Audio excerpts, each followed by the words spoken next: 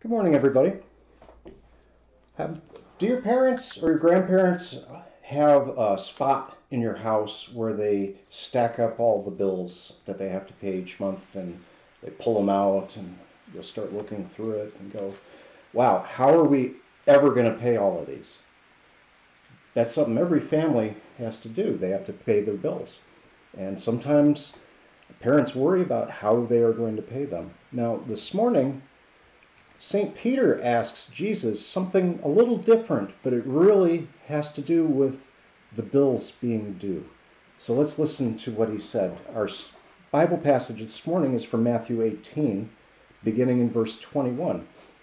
Peter came up and said to Jesus, Lord, how often will my brother sin against me and I forgive him? As many as seven times? And Jesus said to him, I do not say to you seven times, but seventy seven times.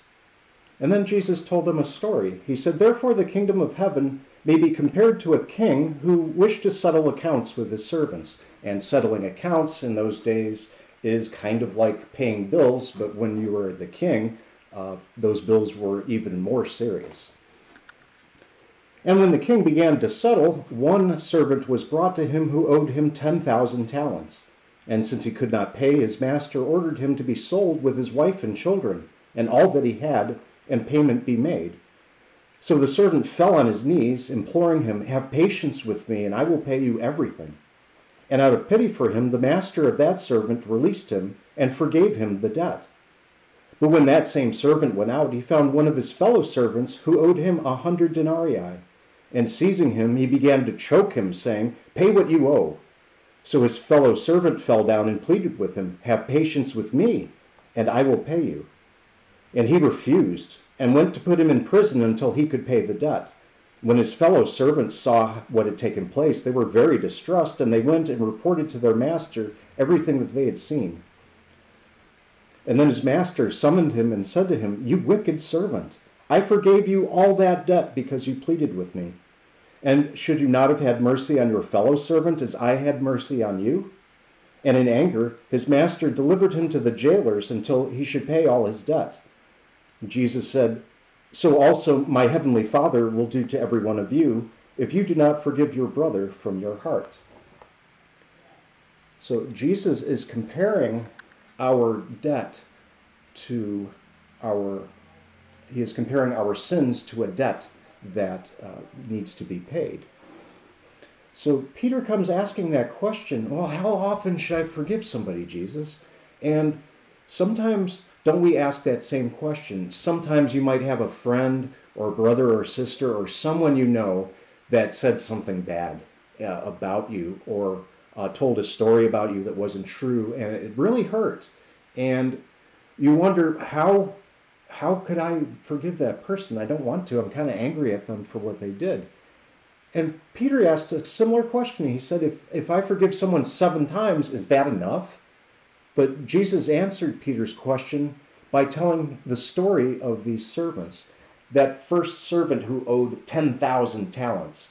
Uh, we're not going to talk about exactly what that means, but it means this it was a debt that would take that man many, many lifetimes to pay back. We don't know how he got such a heavy debt like that. But what we need to take away is that first debtor that was forgiven the 10,000 talents that was a debt he could never, ever, ever pay back. Even if he lived a thousand lifetimes, he would not have been able to pay that debt back. And yet the master had mercy on him. Even when the man said, Oh, well, be patient with me and I'll pay it back, there would be no amount of patience because it could never be paid back.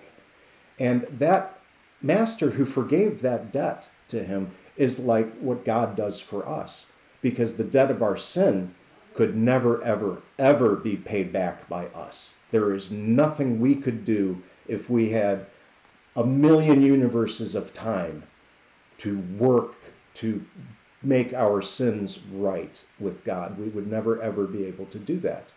But He forgave us all of that debt because He sent Jesus to live a perfect life, the life that we are incapable of leading. And then He died on the cross for each and every one of your sins and my sins all the sins of the whole world, not just one person, which is really remarkable. That shows you how deeply God loves each one of us that he would do that for us. And we could never, ever, ever pay that back. But then we look at the other servant, the servant who had a lot of debt forgiven, and then he met a fellow servant who owed him a little bit, but it was still a lot of money. And he threw that guy in jail. Now, is that how we respond to the grace and the glory that, that God has worked for us through Jesus? To take someone who has done something a little wrong to us and think that we can punish them for that when God forgave all of our sins that we could never hope to pay back. And that is one of the lessons that we have to take away from this story is that God loves us so much that the insurmountable debt, the, the bill we could never hope to pay, he paid for with Christ's life, death, and resurrection. So that when someone sins against us or says something that hurts our feelings or makes us feel sad and we feel like we could never ever forgive them, well, we should.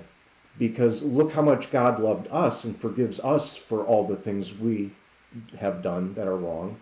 So we too should look at our friends and our people that we encounter in our lives and we should forgive them because the things that they did to us are nothing compared to the burden of all of our sins that were heaped on Jesus upon the cross when he died and rose for all of our sins.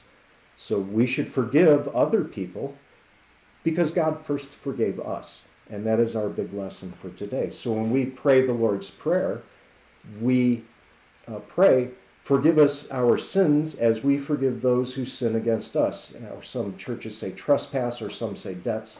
But the, the gist of that verse is, you know, God, forgive me all the bad things that I've done. And because you have forgiven me, because you loved me and sent Jesus to die for my sins, I will forgive those who sin against me. Because if Jesus could die for my sins, I am certainly capable of finding it in my heart to forgive someone else who has done something to me. But we are able to do that because God loved us so much first and sent us Jesus. Have a great rest of your week.